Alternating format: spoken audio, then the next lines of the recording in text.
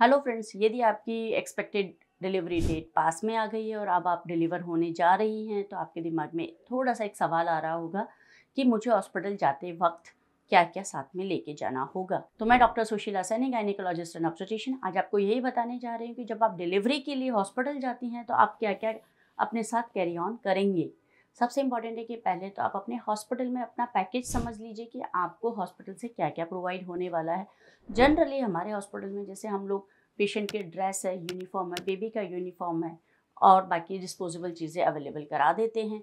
तो ऐसी स्थिति में आपको हॉस्पिटल के आते वक्त आपको कुछ भी लेके नहीं आना होता है। बट यदि सर्दियों का मौसम है तो डेफिनेटली आपको अपने लिए स्वेटर और बच्चे के लिए गर्म कपड़े ज़रूर लेके आने चाहिए ताकि आप अपना ठंड से बचाव कर सकें। दूसरी इंपॉर्टेंट चीज़ है कि यदि आप अपने कपड़े में कोई चेंज करना चाहते हैं तो आप अपना साफ़ गाउन लेके आ सकती हैं। बट जनरली हॉस्पिटल वाले पेशेंट के लिए अपनी ड्रेस प्रोवाइड कराते हैं और बाहर की यूनिफॉर्म अलाउ नहीं करते हैं तो अपने लिए कोई यूनिफॉर्म लेके आने की ज़रूरत आपको नहीं होती है। और बच्चे के लिए ज़रूर आप अच्छे कपड़े लेके आ सकते हैं। हॉस्पिटल के द्वारा भी कपड़े प्रोवाइड कराए जाते हैं बट डेफिनेटली आप गर्म कपड़े और सॉफ्ट कपड़े बच्चे के लिए लेके आ सकते हैं।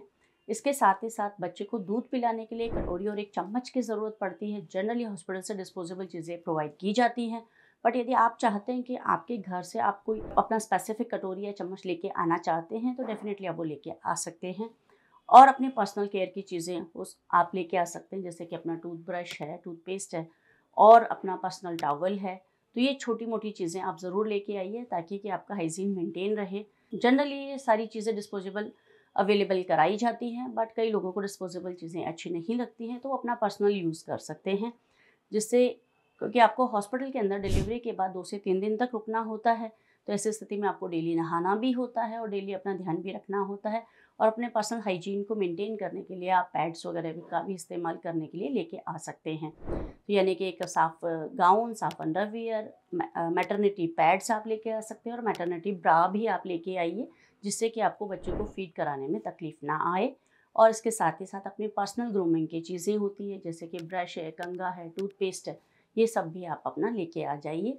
और बच्चे के लिए पर्सनल हाइजीन मेंटेन करने के लिए आप उसके लिए साबुन और तेल वगैरह भी आप लेके आ सकती हैं, जो कि आप बच्चे की माँ मसाज करने के लिए आप यूज़ कर सकती हैं और बच्चे के लिए आप सॉफ्ट गर्म कपड़े लेके आ सकती हैं, जिससे कि आप बच्चे को ठंड से बचा सकें और बच्चे की अच्छे से केयर कर सकें।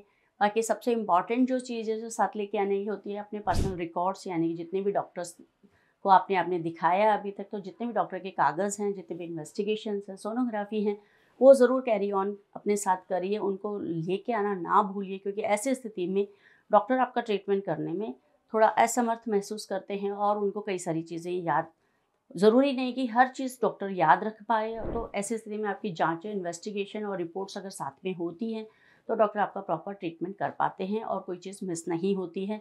इसलिए अपने कागज़ डॉक्यूमेंट्स लाना सबसे ज़्यादा ज़रूरी है। उसके बाद अपने पर्सनल हाइजीन की चीज़ें और अपने पर्सनल कपड़े आप लेके आ सकते हैं। और अपने पर्सनल आराम के लिए आप कुछ स्पेसिफिक तकिया या और कुछ कैरी ऑन कर, कैरी करना चाहते हैं तो वो ज़रूर लेके आ सकते हैं। और भी यदि कोई सवाल आप पूछना चाहते हैं तो हमें कमेंट बॉक्स में लिख के पूछ सकती है। हम आपसे फिर मिलेंगे एक नए वीडियो में नई जानकारी के साथ। तब तक नमस्कार।